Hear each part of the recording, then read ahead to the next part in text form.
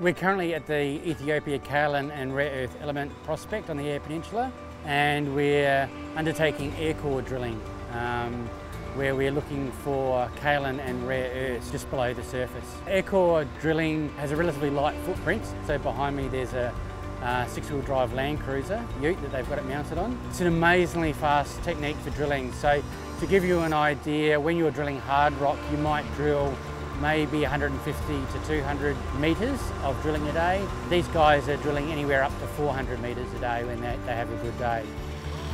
So we've just drilled down to about a 40 metre depth on this hole through an interval of uh, white clay which looks quite promising um, and we've done that on the last two holes going back over in that direction for about 200 metres.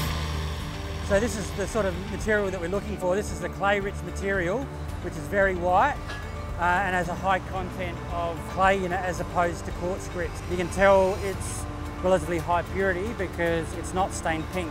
Uh, if it's stained pink it has iron in it, uh, but this material is nice and bright and white which means that it's low iron content and therefore high purity. And if you clump it together with your hands it sticks together which means it's got quite a high kaolin content. So yeah, very promising material.